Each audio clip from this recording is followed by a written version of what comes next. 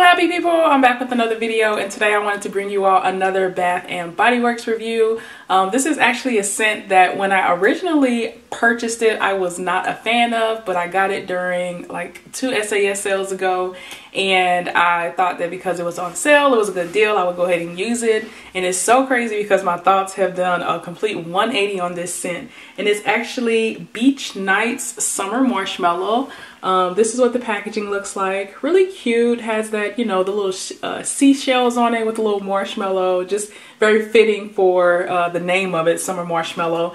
Um, but yeah, so um, let me go ahead and read you all the scent notes on here. Uh, it says that it's toasted marshmallow, sea salt breeze, s'mores accord, beach driftwood, and creamy vanilla. So that's what the scent notes are on here. I've been using this now for a couple of weeks and I actually must say that I really, really like it. Um, when I originally got the scent, I thought that it was way too sweet and I did not think I would enjoy using it at all.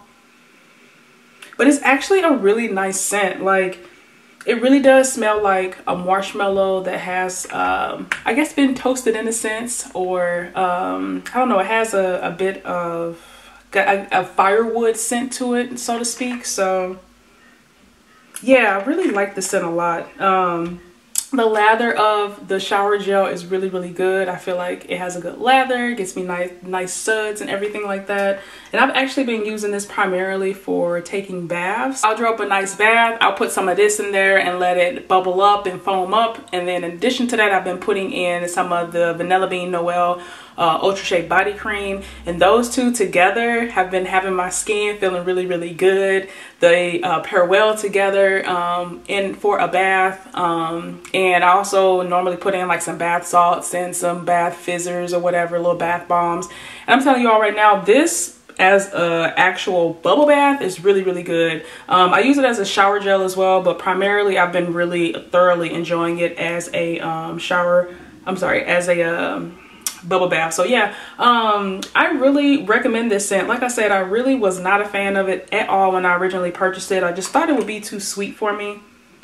Yeah but the the first note you get is like a really sweet i guess fake marshmallow scent but after that, when it dies down a little bit, it has that woodsy smell to it or that kind of smoky smell to it. And it really is a cool combination together. I think the combination pairs very nicely together. And it really does smell like a summer marshmallow. So the naming of it was perfect. And um, yeah, I really like this scent a lot. So actually, if I saw it um, on sale again, I might just snag another one because I actually have really been enjoying it. So yeah, that's the funny thing about when you're using your Bath & Body Works products is like, you might have one um, impression of it when you originally smell it or originally use it but after you use it for a little bit um, the scent kind of grows with you and kind of morphs into something either you really really like or really don't like. And so yeah I hope you all enjoyed my review of this scent uh, Beach Nights Summer Marshmallow from Bath & Body Works. Um, I would love to hear your thoughts down below. Uh, so definitely let me know if you have this scent. I know that it's like a favorite amongst a lot of people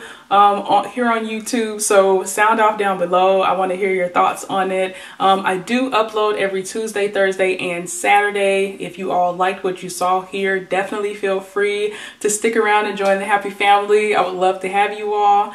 And as always, I want you to leave some love in the comments down below. And I'll see you in my next video. I hope you have a wonderful, awesome, spectacular day. Bye.